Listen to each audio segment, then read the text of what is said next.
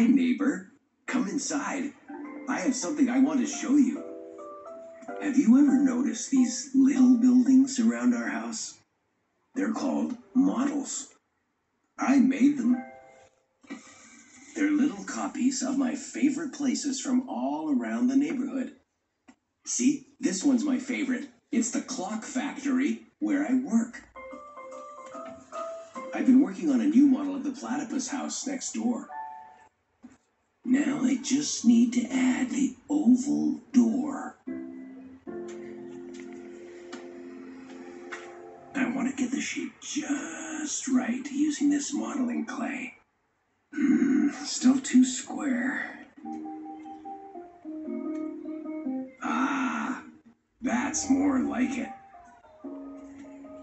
Now let's add a tiny